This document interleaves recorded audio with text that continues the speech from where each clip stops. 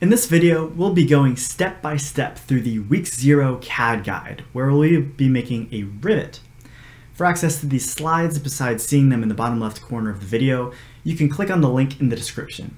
If you haven't learned how to boot up Inventor yet, either by using VLab or by downloading it to your computer, go to the Launching Inventor video on the playlist. But if you know what you're doing, let's go ahead and get started.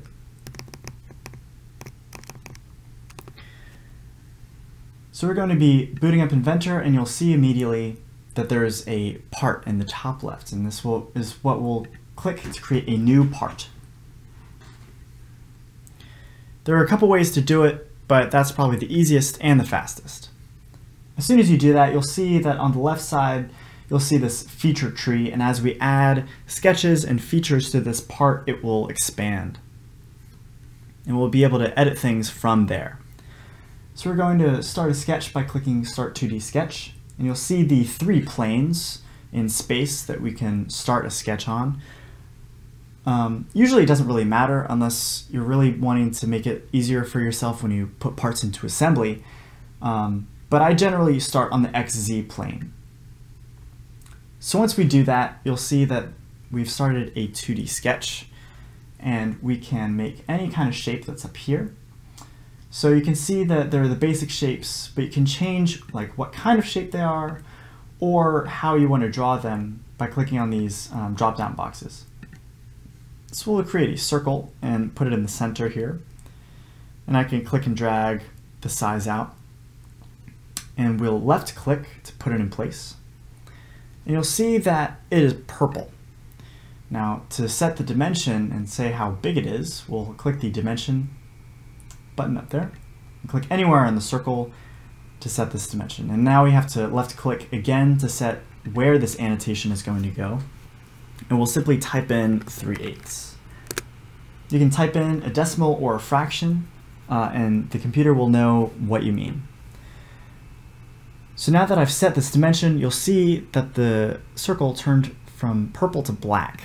And that means it's fully constrained. So you can see in the bottom right that it is fully constrained, and that means that the computer knows every dimension um, that it needs to know. So it knows where the center is because I specifically clicked um, at the center of these axes, and it knows how big it is because I told it what the diameter is.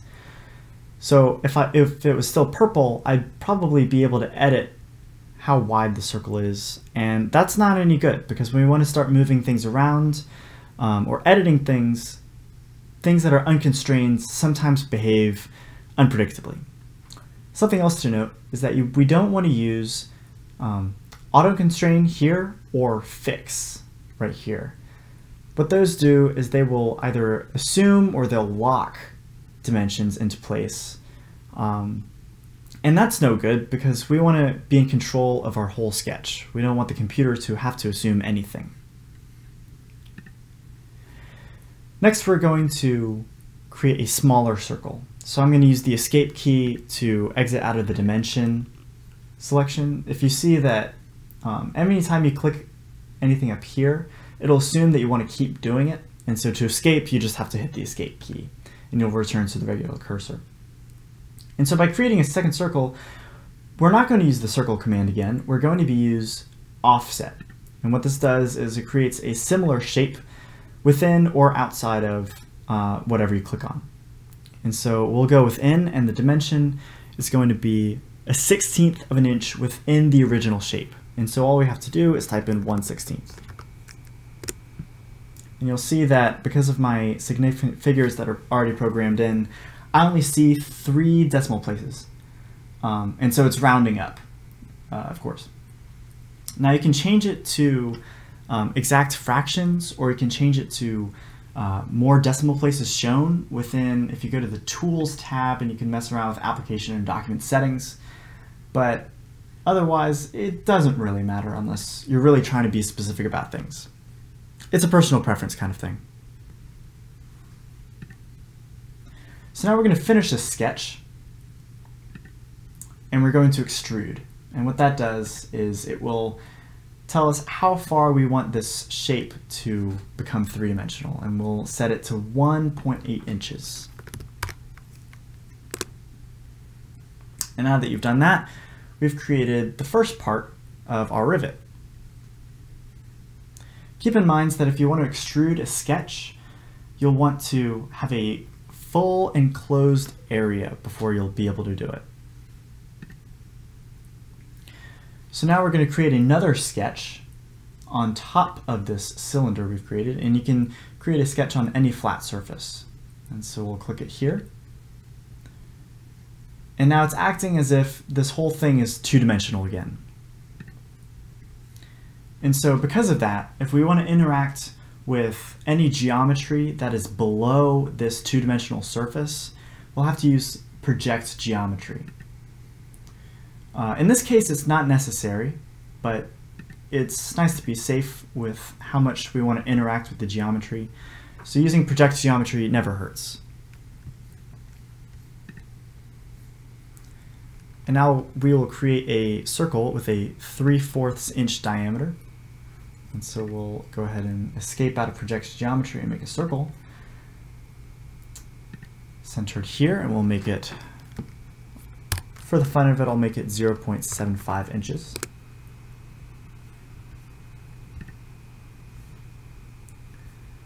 And then we will finish this sketch and then create another extrusion.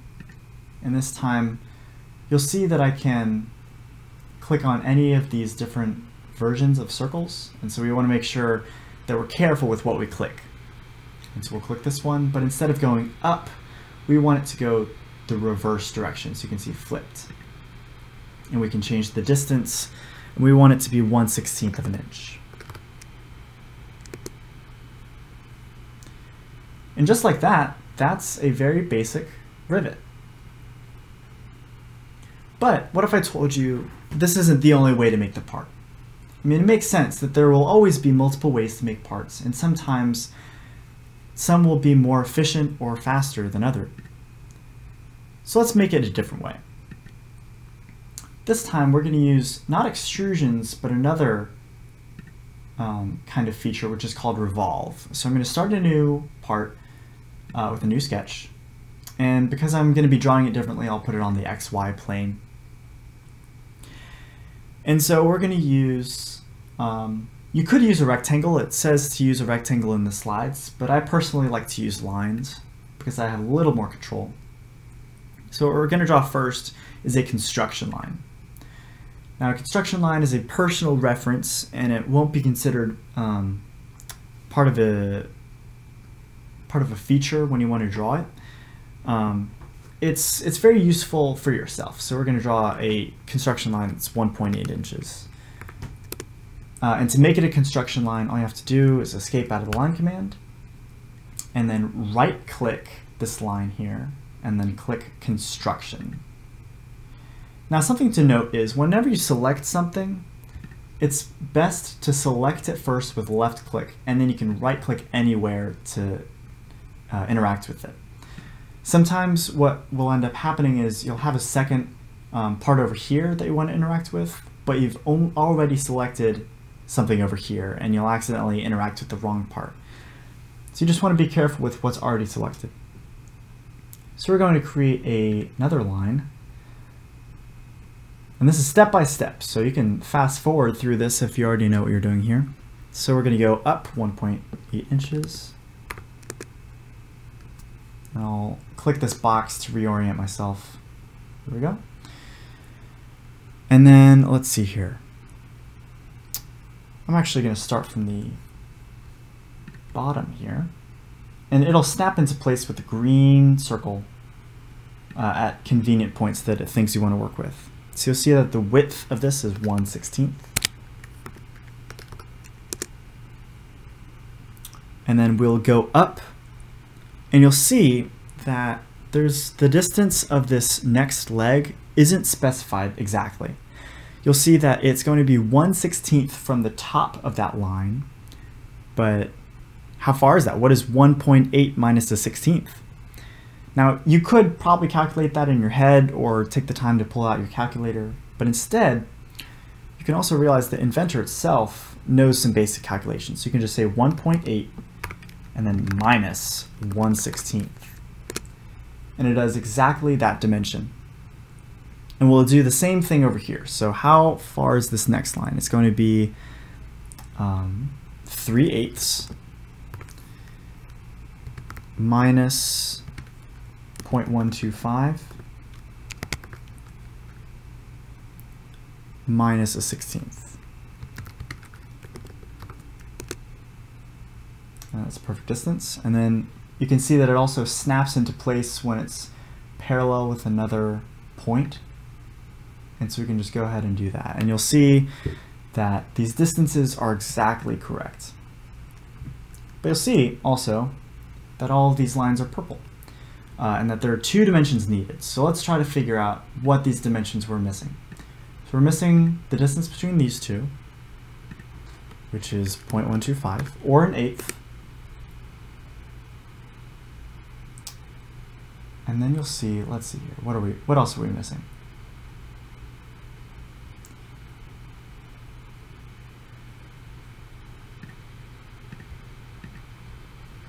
So if you try to create a dimension that already exists, you'll get this error box, so you'll want to cancel it because we don't want to have unnecessary dimensions. So let's see here, what are we missing? I actually am not totally sure. So there's a tool we can use here. You can right click and go show all constraints.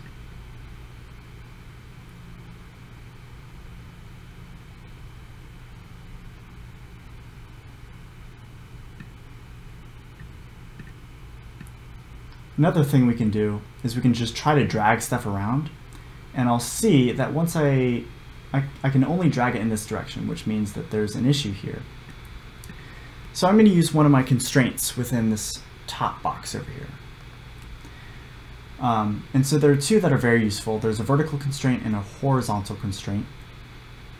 Um, and so you want some things to line parallel to the x-axis. So we want this point and this point to be parallel with the x-axis. And one, once we do that, you'll see that it's all turned black, it's fully constrained, and we're good to go. So now what we're going to do is we're going to finish sketch, we can zoom out a little bit. You can click this box, or you can um, use different controls. If you have a, a physical mouse, it's great. Um, I personally have a 3D mouse, which, unless you're really familiar with one already, I wouldn't recommend but it's a lot of fun for me. So you'll see me manipulate things around um, relatively quickly, and that's what I'm doing. So I'm going to go ahead and revolve, and so it sees this face and it already knows this is the only face that exists, and it already selects it. But now we want to select an axis of rotation, and that's where, so you can, if you click on axis, select axis, then it'll highlight itself, and we want to select what we want to rotate around. And so we can select this construction line we drew earlier, and boom, it automatically goes 360 degrees, and we have this full rivet.